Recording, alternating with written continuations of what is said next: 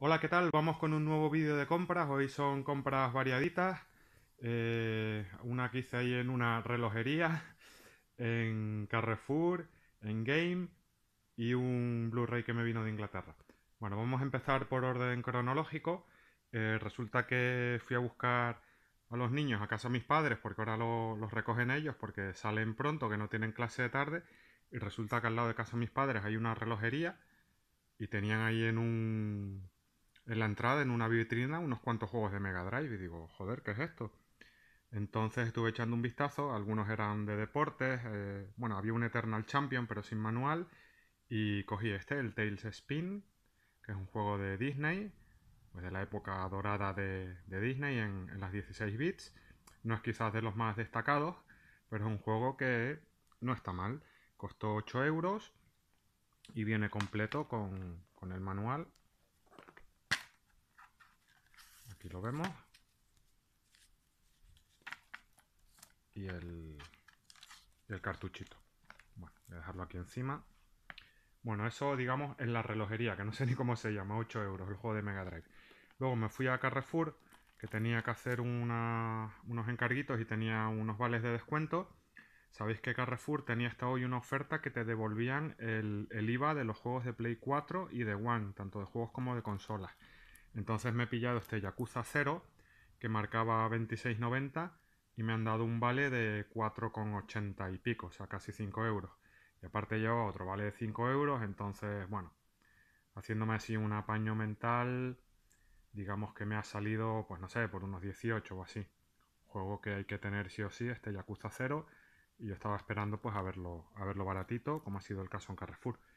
Luego en Carrefour también me compré la pelotita del Real Madrid para que mi hijo, que acaba de cumplir tres años, pues se vaya aficionando al mejor equipo del mundo. Él se hará del Madrid seguro porque es el equipo que ahora está en racha y, marcará una época.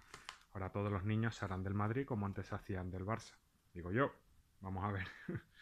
bueno, después de esta parrafada, parrafada futbolera, que sé que a alguno le va a gustar mucho, vamos a seguir. Nos habíamos quedado en Carrefour. Bueno, la pelotita costó 4 euros en Carrefour. Y luego me fui al game que hay ahí en, Carrefour, en Meridiano. Y el amigo Fanfi me puse a rebuscar y le acababan de entrar unos juegos. Y me encontré este de Town of Light. Un juego que no tenía ni idea de su existencia.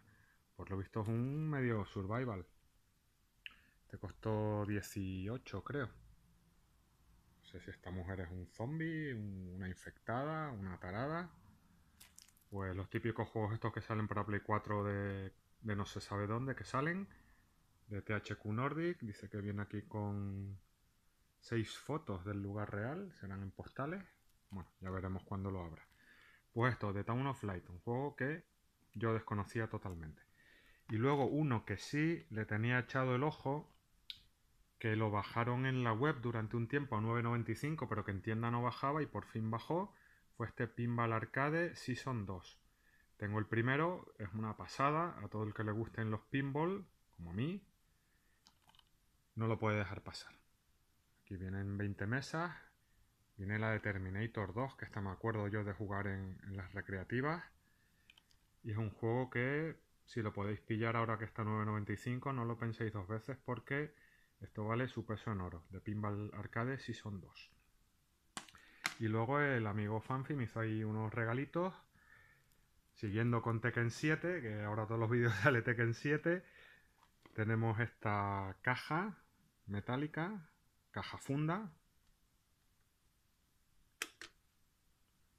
Y luego también el, este Steelbook, que es diferente al, al Steelbook que venía en la edición especial. Este debe ser exclusivo de Game.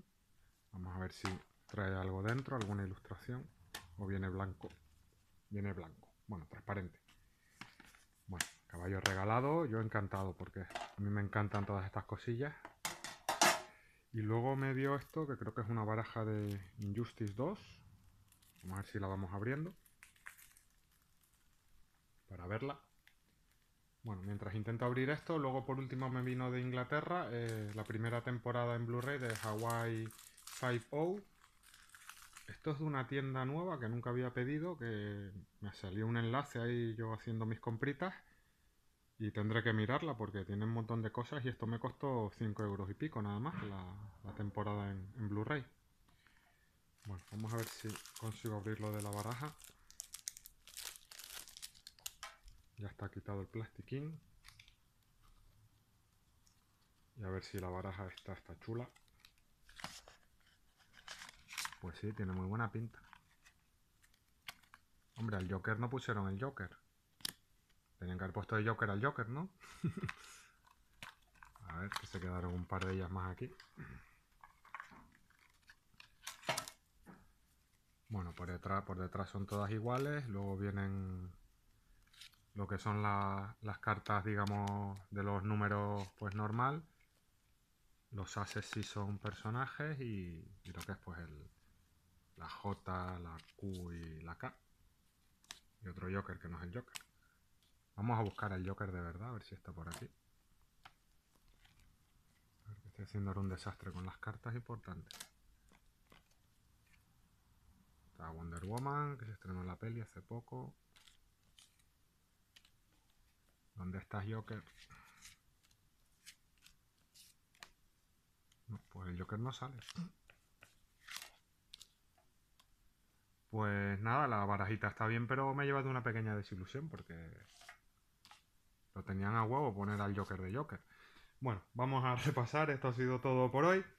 Eh, a ver si las cartas nos dejan ver las cosas. Teníamos la primera temporada en Blu-ray de Hawaii Five-O.